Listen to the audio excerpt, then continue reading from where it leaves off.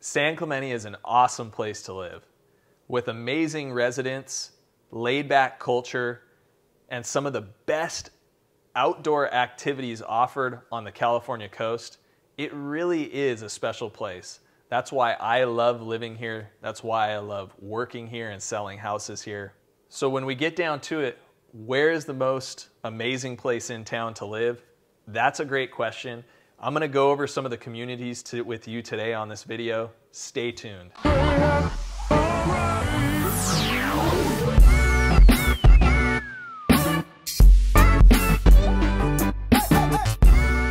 Okay, so a question I get asked all the time by people who are coming from out of the area and looking to buy a home in San Clemente. Should I be by the beach or should I be up on the hill with an ocean view? Well, that's something that ultimately you have to decide and I can help you go through all the reasons and, and the lifestyle choices that are involved in that decision. So let's start by the beach. There's a community called Southwest San Clemente. This is uh, literally a rectangle along the, uh, along the coast from the I-5 freeway all the way to the bluff in the southwestern region of San Clemente. This is your typical beach community. You've got homes and condos ranging from the whole gamut of pricing.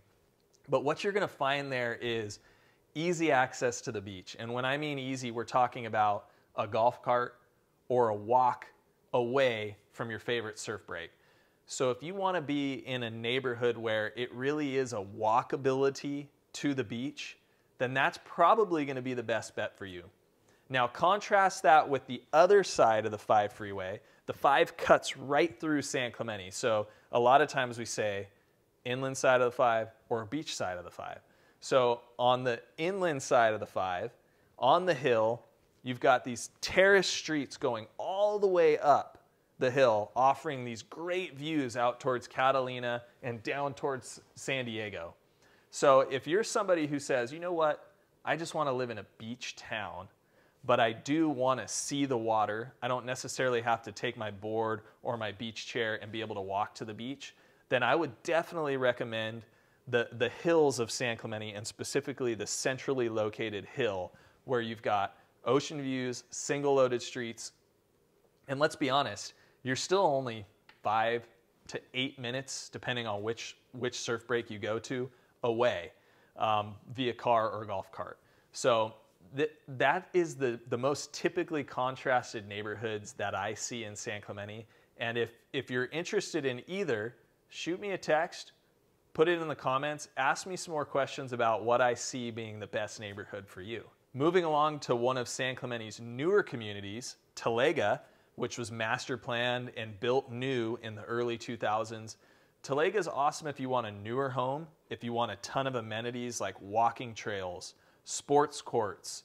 They have a, a Olympic-sized pools pool for the whole community of Talega, as well as a lot of the individual communities have their own pools as well. So there are a ton of amenities. There is a Mello-Roos tax, which is important. Watch my video on Mello-Roos or text me about what the Mello-Roos are. I can look up how much Mello-Roos tax there is on each individual property if you need me to, so just reach out.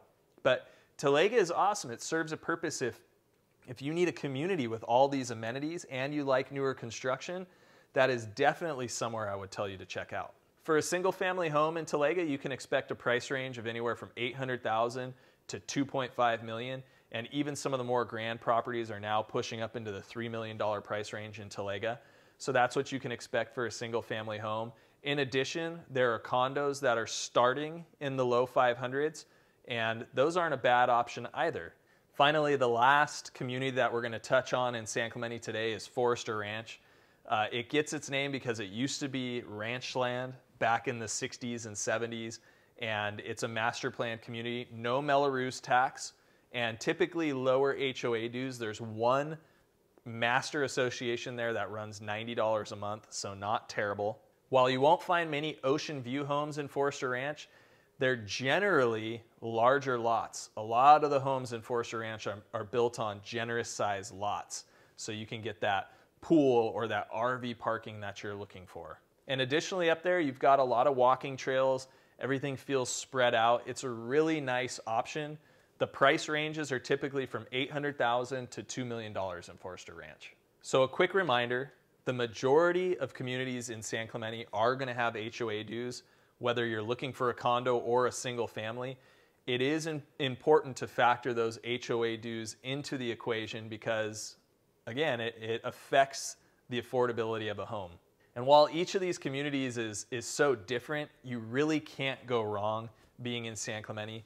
Think about the lifestyle, think about the type of the home that's in the community, and I'll be here as your liaison to help you navigate and offer any information that I can that'll be helpful in your decision making process. Feel free to give me a call, leave a comment, or shoot me a text, and we can chat more about this great city, San Clemente.